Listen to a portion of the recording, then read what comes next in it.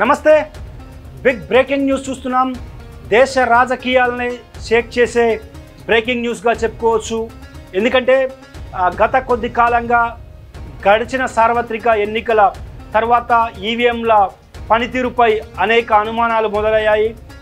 Elon Musk లాంటి వాళ్ళు కూడా సందేహాలను వ్యక్తం చేస్తున్నారు. వ్యక్తం చేసినటువంటి పరిస్థితి.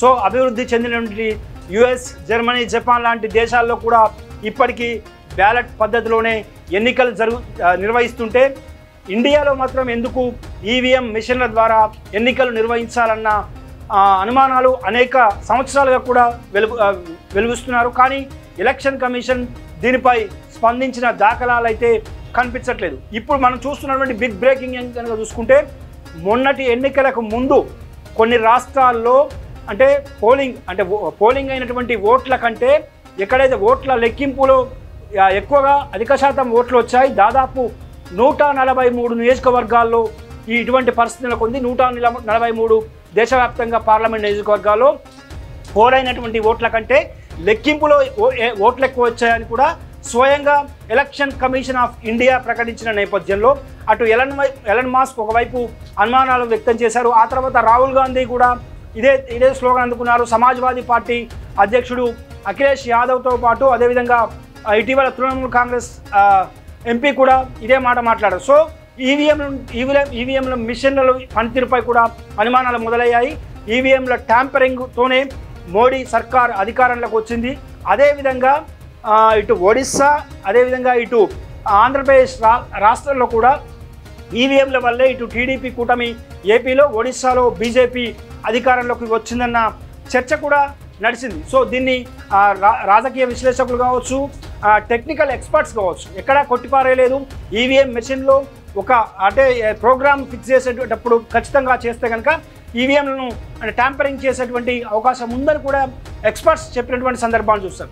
ముఖ్యంగా కనుక చూసుకుంటే నూట నలభై మూడు నియోజకవర్గాల్లో ఓటింగ్ పర్సంటేజ్ పెరగడంపై కూడా ఎలక్షన్ కమిషన్ మౌనంగా ఉండడం కూడా చాలా పలు అనుమానాలకు తావిచ్చింది. అయితే ఏడు దశల్లో ఎన్నికలు నిర్వహించడం కూడా ఈసారి మోడీకి అంటే అడ్వాంటేజ్గా మారిందని చెప్పుకోవచ్చు. ఇందులో ముందస్తు అంటే ఎన్ని- ఎన్నికల భాగంలోనే ఏడు దశల్లో ఎన్నికలు నిర్వహించారు. ఎలక్షన్ కమిషన్ పూర్తిగా మోడీ సర్కార్కు సహకరించిందన్న ఆరోపణలు వినిపించాయి. అయితే ప్రస్తుతం నిన్నటి జగన్ ధర్నా తర్వాత ఒక కీలక సర్వే కీలకమైనటువంటి క్రెడిబిలిటీ ఉన్నటువంటి ద- దేశంలో క్రెడిబిలిటీ ఉన్నటువంటి ఒక కీలకమైన సర్వే ఓట్ ఫర్ డెమోక్రసీ అనే సర్వే ఒక సర్వే నిర్వహించి అంటే కొన్ని వాస్తవాలను బయటపెట్టింది అనుకోవచ్చు. ఇదే ఆ, వాస్త ఇవే అంటే ఇవే అంటే ఏదైతే ఓట్ ఫర్ డెమోక్రసీ ప్రవేశపెట్టినటువంటి ఆ సర్వేలో ఉన్నటువంటి అంశాలను ఇప్పుడు వైసీపీ నేతలు పెద్ద ఎత్తున ప్రచారంలోకి తీసుకుని వెళ్తున్నారు ప్రజల్లోకి తీసుకెళ్తున్నారు. జాతీయ నేతల దృష్టి కూడా ఈ అంశం వెళ్ళింది. ప్రధానంగా ఓట్ ఫర్ డెమోక్రసీ సర్వేలో ఎలాంటి కీలక అంశాలు బయటపడ్డాయి? ఈవీఎంల పనితీరు అదేవిధంగా పోలి అంటే పోలైన ఓట్ల కంటే లెక్కింపులో ఓట్లు- వచ్చినటువంటి ఓట్లు ఎందుకు పెరిగాయనే కూడా ఏ రాష్ట్రాల్లో ఎంత ఎంతెంత డిఫరెన్సెస్ ఉన్నాయని కూడా చాలా స్పష్టంగా ఈ అంటే ఓట్ ఫర్ డెమోక్రసీ సర్వేలో పొందుపరిచింది. ఒక ఒక ముందుగా ఏ రాష్ట్రాల్లో ఎన్నెన్ని ఓట్లు గల్లంతాయాయి ఎన్నెన్ని ఓట్లు అంటే పోలైన ఓట్ల కంటే ఎక్కువగా ఎన్ని ఓట్లు వచ్చాయని కూడా ఒక్కసారి చూద్దాం. ఎందుకంటే ఆ survey vote for democracy credibility ఉన్నటువంటి దేశవ్యాప్తంగా ఉన్నటువంటి సర్వేలో ఈ కీలక అంశాలను బయటపడ్డాయి. సో వాటిని కనుక చూసుకుంటే ముందుగా మహారాష్ట్ర విషయానికి వస్తే మహారాష్ట్రలో యాభై రెండు లక్షల అరవై మూడు వేల ఓట్లు పోలైన వాట్ల ఓట్ల కంటే అధికంగా ఉన్నాయన్నది కూడా సర్వేలో తేలింది. వీటితో పాటు వెస్ట్ బెంగాల్లో ముప్పై ఆరు లక్షల డెబ్బై ఒక్క వేల ఓట్లు కూడా ఎక్కువగా ఎక్కువగా చూపించారన్నది కూడా ఈవీఎంలో ఎక్కువగా వచ్చాయన్నది కూడా అంటే ఆ సర్వేలో వచ్చినటువంటి సారాంశం.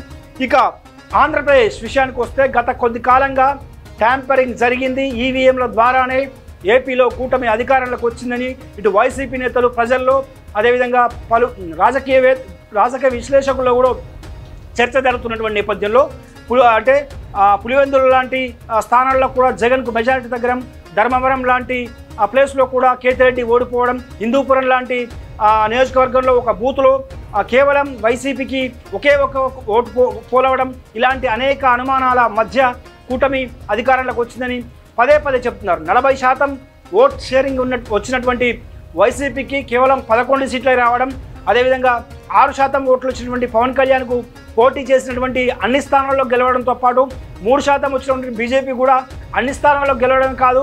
రెండు ఎంపీ సీట్లు అదేవిధంగా జనసేన ఒక ఎంపీ సీటు కూడా గెలిచినటువంటి సందర్భాన్ని చూసాం. ఏ అంటే ఏపీలో పోలింగ్ పర్సంటేజ్ సంబంధించి ఈవీఎంల ఓట్లు గల్లంతాయన్నది కూడా వాళ్ళు అంత గతంలో ఏపీలో చెప్పినటువంటి మాట. ఎందుకంటే దాదాపు అర్ధరాత్రి వరకు కూడా అంటే పోలింగ్ కొనసాగింది. నెక్స్ట్ డే అంటే election commission of India next day మధ్యాహ్నం తర్వాత కానీ ఎన్ని ఓట్లు పోలయ్యాయని కూడా ఆ, చెప్పినటువంటి సందర్భాలు లేవని చెప్పుకోవచ్చు. మధ్యాహ్నం నెక్స్ట్ డే అంటే పోలింగ్ పూర్తయిన నెక్స్ట్ డే మధ్యాహ్నం తర్వాత ఎన్ని ఓట్లు పోలయ్యాయని చెప్పుకొచ్చింది. ఆ పోలింగ్ ఓట్లలో కూడా చాలా వ్యత్యాసం ఉందని కూడా వైసీపీ నేతలు చెప్పుకొచ్చారు. ఇప్పుడు ఏపీ విషయానికి వస్తే నలభై తొమ్మిది లక్షల ఓట్లు ఎక్కువగా వచ్చాయన్నది కూడా ఆ సర్వేలో చెప్పినటువంటి సారాంశం. వైసీపీ నేతలు పదే పదే చెబుతున్న దాన్ని బట్టి చూస్తే మాత్రం ఓట్ ఫర్ డెమోక్రసీ చేసిన దాన్ని బట్టి నలభై తొమ్మిది సీట్ల నలభై తొమ్మిది లక్షల ఓట్లు అంటే పోలైన ఓట్లు ఏవైతే ఉన్నాయో వాటికంటే ఎక్కువగా వచ్చాయి. ఇక కర్ణాటక విషయానికి వస్తే ఇరవై రెండు లక్షల ముప్పై మూడు వేల ఓట్లు అధికంగా వచ్చాయి. ఎందుకంటే సౌత్ ఎలక్షన్స్ దాదాపు సౌత్ ఫే ఫిఫ్త్ ఫేజ్లో జరిగాయి. కర్ణాటకలో కాంగ్రెస్ పార్టీ అధికారంలో ఉన్నప్పటికీ బీజేపీకి దాదాపు అక్కడ క్లీన్ స్వీప్ మెజారిటీ ఎంపీ సీట్లలో వచ్చింది. కానీ అసెంబ్లీ ఎన్నికల్లో మాత్రం వన్ థర్డ్ మెజారిటీతో కాంగ్రెస్ పార్టీ గెలిచింది. సో అక్కడ కాంగ్రెస్ పార్టీకి పెద్దగా సీట్లు ఏమి రాలేదు. దీంతో దీంతో కూడా సౌత్లో చాలామంది అనుమానాలు వ్యక్తం చేశారు. ఇరవై రెండు లక్షల ముప్పై మూడు వేల ఓట్లు కర్ణాటకలో ఎక్కువగా వచ్చాయి. అదేవిధంగా ఛత్తీస్గఢ్లో తొమ్మిది లక్షల యాభై నాలుగు వేల ఓట్లు ఎక్కువగా వచ్చాయి. రాజస్థాన్లో ఇరవై తొమ్మిది లక్షల మూడు వేల ఓట్లు అధికంగా పోలయ్యాయి. మధ్యప్రదేశ్లో ఇరవై ఒక్క లక్షలు అధికంగా పోలయ్యాయి. బీహార్లో పదకొండు లక్షల ఆరు వేల ఓట్లు అధికంగా పోలయ్యాయి. తెలంగాణ విషయానికి వస్తే తెలంగాణలో కూడా ముప్పై తొమ్మిది సీట్లకే పరిమితమైనటువంటి బీఆర్ఎస్ కూడా ఇదే విధమైనటువంటి ఆరోపణలు చేసింది. అరవై నాలుగు సీట్లతో కాంగ్రెస్ పార్టీ అధికారంలోకి వస్తే ముప్పై తొమ్మిది సీట్లతో బీజే బీఆర్ఎస్ ప్రతిపక్షానికి పరిమితమైంది. ఎనిమిది సీట్లతో బీజేపీ మూడో స్థానాన్ని సరిపెట్టుకోవాల్సి వచ్చింది. ఇక తెలంగాణ విషయానికి వస్తే పద్నాలుగు లక్షల ఇరవై రెండు వేల ఓట్లు అధికంగా వచ్చాయని కూడా ఓట్ ఫర్ డెమోక్రసీ సర్వేలో కూడా వెల్లడైంది. ఇక హర్యానా విషయానికి వస్తే పన్నెండు లక్షల తొంభై ఒక్క వేల ఓట్లు అస్సాం విషయానికి వస్తే పదిహేను లక్షల ఓట్లు అరుణాచల్ ప్రదేశ్ ప్రదేశ్ విషయానికి వస్తే లక్ష తొమ్మిది వేల ఓట్లు గుజరాత్ విషయానికి వస్తే మోడీ సొంత రాష్ట్రం గుజరాత్ విషయానికి వస్తే పదహారు లక్షల పదిహేడు వేల ఓట్లు అధికంగా పోలాయన్నది కూడా ఓట్ ఫర్ డెమోక్రసీ చేసినటువంటి సర్వేలో కీలక అంశాలుగా చెప్పుకోవచ్చు. ఇక కేరళ విషయానికి వస్తే కేరళలో పదిహేడు లక్షల పన్నెండు వేల ఓట్లు అధికంగా పోలయ్యాయని కూడా అధికంగా అంటే పోలైన ఓట్ల కంటే అధికంగా ఉన్నాయని కూడా ఓట్ ఫర్ డెమోక్రసీ సర్వేలో చెప్పుకొచ్చారు. మొత్తం మీద ఓవరాల్గా ఈ ఓట్ ఫర్ డెమోక్రసీ సర్వేలోని కీలక అంశాల్లో పదిహేను రాష్ట్రాల్లో పోలైనటువంటి ఓట్ల కంటే లెక్కింపులో వచ్చినటువంటి ఓట్ల శాతం అధికంగా కనిపిస్తున్నది ఆ సర్వే సారాంశం.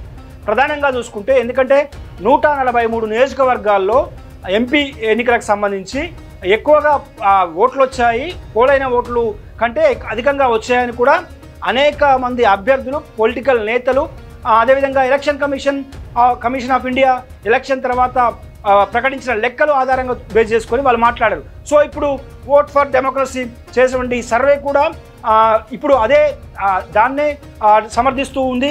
ఖచ్చితంగా పదిహేను రాష్ట్రాల్లోని నూట నలభై మూడు నియోజకవర్గాల్లో పార్లమెంట్ సెగ్మెంట్లో పోలైన ఓట్ల కంటే అంటే ఆ, రోజు పో పోలింగ్ రోజు పోలైన ఓట్ల కంటే లెక్కింపులో అధికంగా వచ్చాయన్నది కూడా ఇప్పుడు చాలా స్పష్టంగా అర్థమైంది.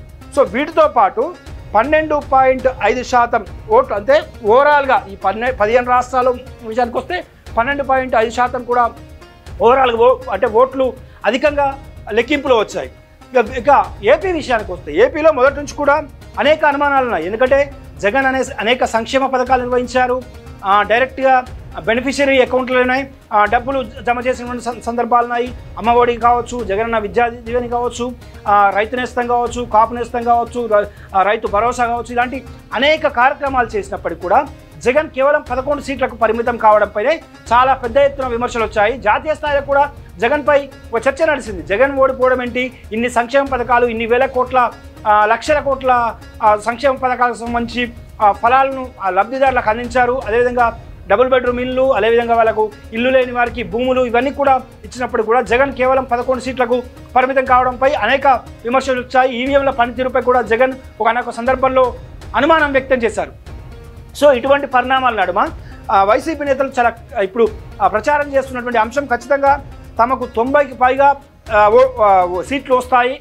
అంటే ఇప్పుడు ఓట్ ఫర్ డెమోక్రసీ చేసినటువంటి సర్వేలో కూడా తొంభైకి పైగా సీట్లు రావాలి. అంటే నలభై తొమ్మిది లక్షల ఓట్లు కనుక ఎక్కువగా అంటే లెక్కింపులో రాకపోతే తొంభైకి పైగా సీట్లు వైసీపీకి రావాలి. వైసీపీ ఖచ్చితంగా తొంభైకి పైగా సీట్లతో అధికారంలోకి వస్తుందని తాము అంచనా వేశామని ఓట్ ఫర్ డెమోక్రసీ కీలకమైనటువంటి సర్వేలో కీలక అంశంగా చెప్పుకొచ్చింది. మరోవైపు ఒకవేళ తొం తొంభైకి పైగా లేకున్నా కూడా డెబ్బై నుంచి డెబ్బై ఐదు సీట్లతో ప్రతిపక్షానికి వైఎస్ఆర్ కాంగ్రెస్ పార్టీ పరిమితం అవుతుందని అవుతుందని తాము అనుకున్నామని కానీ నలభై తొమ్మిది లక్షల ఓట్లు ఇప్పుడు అధికంగా రావడంతో టీడీపీ కూటమి అధికారంలోకి వచ్చిందనేది ఓ ఓట్ ఫర్ డెమోక్రసీ చేస్తున్నటువంటి సం- చేస్తున్నటువంటి చేసినటువంటి సర్వేలోని కీలక అంశాలుగా చెప్పుకోవచ్చు. జగన్ ధర్నా సక్సెస్ అయిన మర్నాడే వైసీపీ నేతలు ఈ అంశాన్ని పెద్ద ఎత్తున ప్రజల్లోకి రాజకీయ పక్షాల నేతల్లోకి తీసుకోబోతు తీసుకోబో తీసుకోబోతున్నారు. ముఖ్యంగా ఇప్పటికే రాహుల్ గాంధీతో పాటు పలువురు కీలక నేతలు మమతా బెనర్జీ కావచ్చు స్టాలిన్ కావచ్చు అదేవిధంగా అఖిలేష్ యాదవ్ కావచ్చు అరవింద్ కేజ్రీవాల్ కావచ్చు. వీరందరూ వీరందరూ కూడా ఇప్పటికే అంటే ఈవీఎంల ట్యాంపరింగ్ పై ఈవీఎంల పై అనుమానాలు వ్యక్తం చేశారు. సో ఇటువంటి పరిణామాల నేపథ్యంలో ఇప్పుడు ఓట్ ఫర్ డెమోక్రసీ ఇచ్చినటువంటి సర్వే ఆధారంగా కనుక చూసుకుంటే ఖచ్చితంగా ఇది ఎన్డీఏ కూటమికి ఇబ్బందికరంగా మారేటువంటి పరిణామంగా చెప్పుకోవచ్చు. ఏపీ విషయానికి వస్తే ముందు నుంచి కూడా జగన్మోహన్ రెడ్డి ఓడిపోవడానికి ఈవీఎంలే కారణమని కూడా ముందు నుంచి కూడా ఏదైతే చర్చ జరుగుతుందో ఆ చర్చకు బలం చేకూర్చేలాగా ఓట్ ఫర్ డెమోక్రసీ నలభై తొమ్మిది లక్షల ఓట్లు ఆంధ్రప్రదేశ్లో ఎక్కువగా కౌంటింగ్లో వచ్చాయి.